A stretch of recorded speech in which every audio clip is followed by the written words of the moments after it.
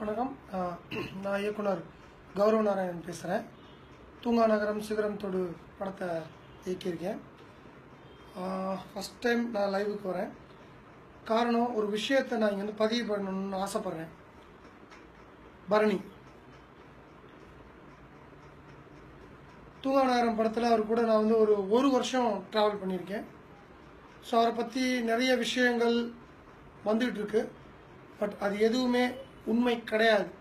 ஒரு இயக்குனராக ஒரு வருஷம் அவர் கூட ட்ராவல் பண்ணியிருக்கிறத வச்சு நான் அடித்து சொல்லுவேன். பெண்கள் விஷயத்தில் பரணி தங்கம்.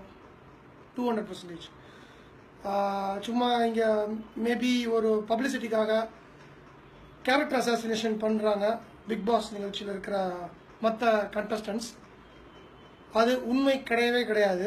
ஏன்னா எனக்கும் பரணிக்கும் நிறைய மனஸ்தாபங்கள் இருக்குது பர்சனலாக அவருக்கு என்னைய பிடிக்காது எனக்கு அவரை பிடிக்காது. அதெல்லாம் வேறு விஷயம். அதையெல்லாம் தாண்டி ஒரு நல்லவனை கேரக்டர் அசாசினேஷன் பண்ணுறது அப்படின்றது ரொம்ப தப்புன்னு நான் நினைக்கிறேன். அதனால் பரணி என்னோட சப்போர்ட் உனக்கு இருக்குது டெஃபினட்டாக ஒரு இயக்குனராக என்னோடய சப்போர்ட் உனக்கு இருக்குது உன்னை பற்றி எனக்கு நல்லா தெரியும்.